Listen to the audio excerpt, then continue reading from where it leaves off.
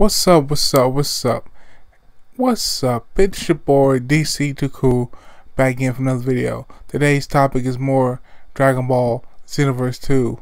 Um, apparently there's a Dragon Ball Xenoverse 2 official manga by Toriyama and uh, which I'm assuming obviously Toriyama will make, you know, the outlines and things and Toyotarou will actually do the art like uh, like a Dragon Ball Super manga.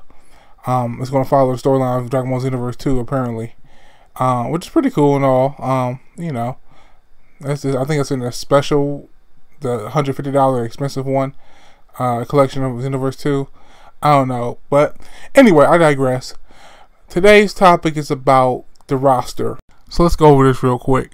Dragon Ball Xenoverse 2 is hitting stores worldwide just a little over a month. Today, an image of 68 of the at least 87 playable characters has been revealed. We say at least because the official number has not been announced yet and the image seems to be from a demo build and there are arrows to point to the scroll left or right.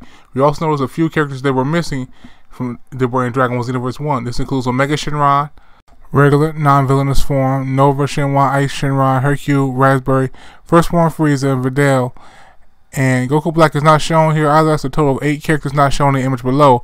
Assuming all those characters are, are in, that's 76 playable characters we know of. Here's the thing about this. I don't believe this is true. Um, I believe we just haven't seen all of the characters yet.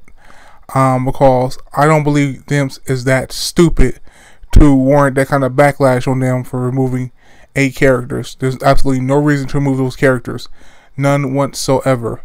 Especially the GT characters because a lot of people like myself who like GT, the black sheep of the series, you know, was very happy to get those characters and we paid for those characters via DLC last year. So to remove them this year will be a huge slap in the face absolutely huge. You will get a backlash out of this world if you remove those characters, and that includes Hercule and Videl. First Form Frieza, those are crucial characters too to Z. At least, well, at least First Form Frieza is. But moving characters is that's not the way to go. Um, they also, I also noticed by looking further into this, Super Saiyan God, Super Saiyan Vegeta wasn't in there neither. So I'm pretty sure that definitely is not a true list. Um, it better not be. Because they, I mean, especially Super Saiyan God, Super Saiyan Vegeta, I'm pretty sure he's going to be in the game. The other eight might not make it. Um, but Super, um, Super Saiyan God, Super Saiyan Vegeta is going to be in the game. But all the characters from Xenoverse One need to be in the game. This would be a like this would be a first from characters like missing uh, from one game to the next. In Dragon Ball, I've never seen this before. Never heard of this before. This would be a first, that, you know, for me that I've heard of this. Um, all the characters better be in the game. There better not be no tomfoolery. They need to actually get on uh, revealing the entire roster so we know exactly who we're going to get and quit playing. We in October. You know, let's know. We need to know what's going on, um, especially when you see stuff like this happening and stuff. to get you kind of a little bit discouraged. Um, so yeah, that's it for me. Tell me what you guys think. Till next time, like, subscribe. Peace out.